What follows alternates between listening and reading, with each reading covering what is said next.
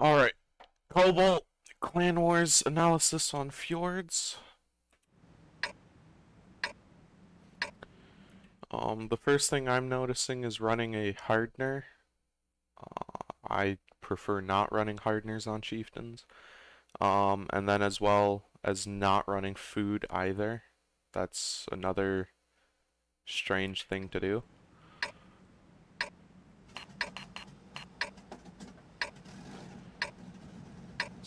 This up a little bit. Okay. So we're gonna do a little bit of a free cam first. Alright, so it's the two 140s, yep, two STBs, three CS, okay.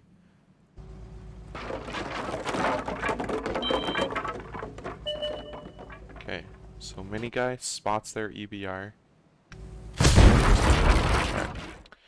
So here is where they want to stop. They lit one guy, and they're never going to have one guy push this.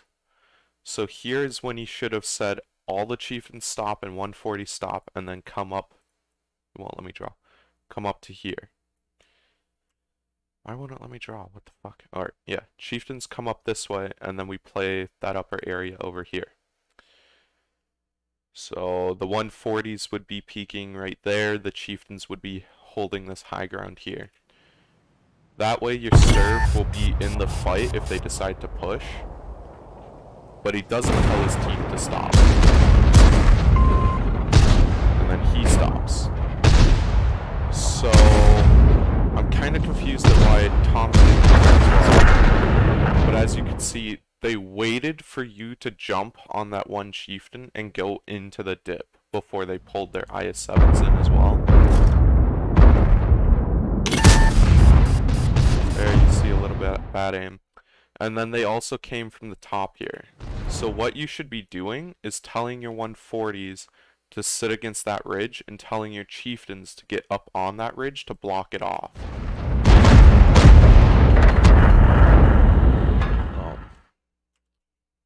Because I'm going to explain that farther. So why you want to block off this top road is because you should be sending your CSs to quick cap them since you know that all of their guys are over here.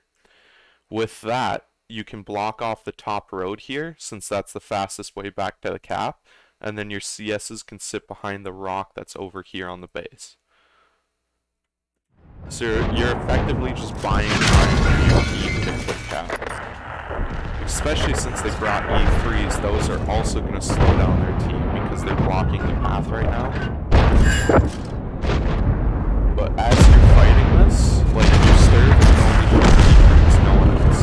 So his gun is, in a way, pretty useless.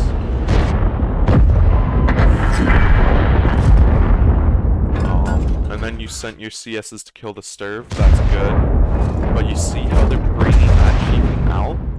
Had you had all of your chieftains come up to this road and push through it, they wouldn't have been able to get that chieftain out.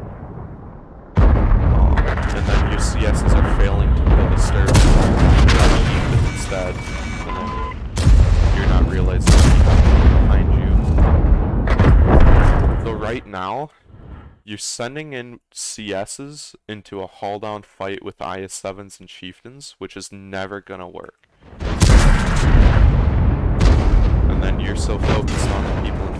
That you're not willing to survive so that you can keep farming. And the more that these IS-7s push in, or are able to push in, the less your Sturv is allowed to shoot. So that's why you would want to bring people over on the other side of the hill here right over here. That way, if they push in, your Sturv has infinite shots, and there's no risk of him getting lit back there.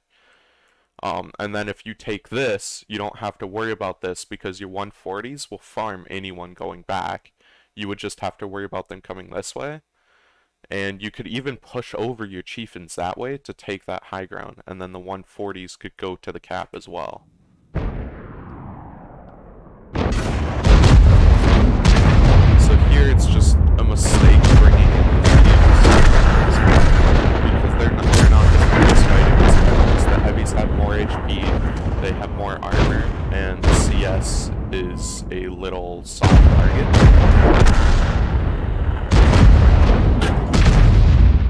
Chieftain that took the top ridge there, Dale, he shouldn't be peeking where he is right now. He should be peeking from up there. Up there, he can shoot the E3 safely. Um, and I know that he could have gotten up there because he was behind that body in the first place.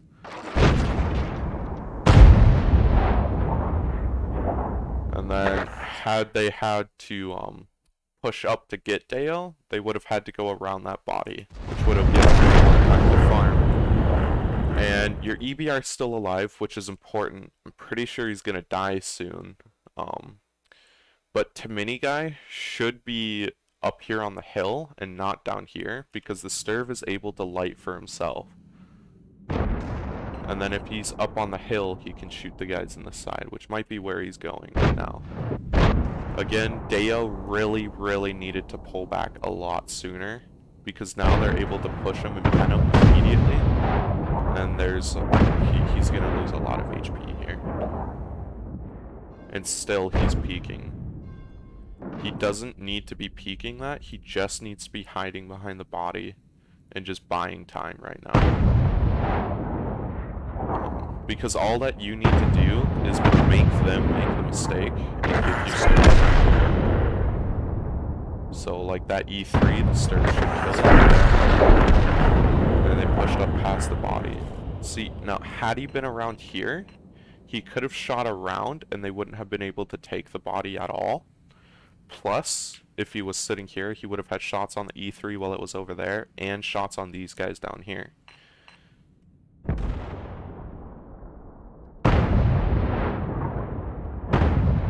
And your Sturv is about to die, um, and Mini Guy is still doing something.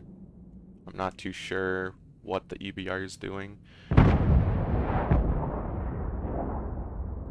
The Sturv is doing good at staying up high. He needs to continue to stay up high, but he should be in the corner there. Really wish that you went to their bodies. He should be in the corner so that the IS-7 couldn't shoot him in the side up there then Timini guy got himself stuck there. He should have gone up the hill, and then that would have given him an out to continue playing the game.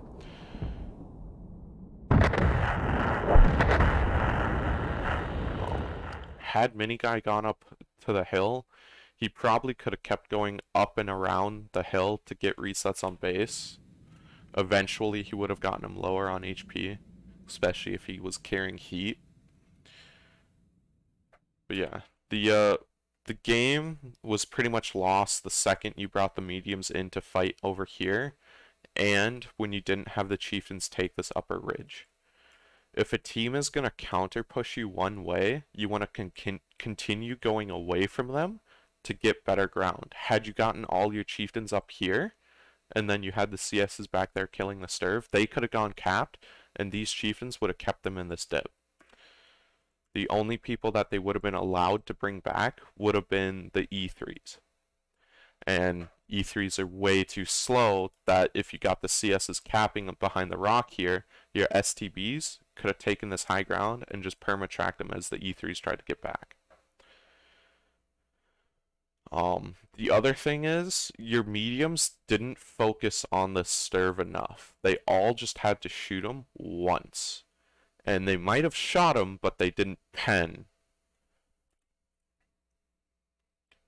Um, other than that, it was just little plays at the end that really messed up a lot of the potential to win the game again. Like, Mini Guy could have ran up to the hill and gotten shots on them while they were over here fighting that. And then Deo could have been up on the ridge here. And then he would have had shots on everyone while remaining hull down.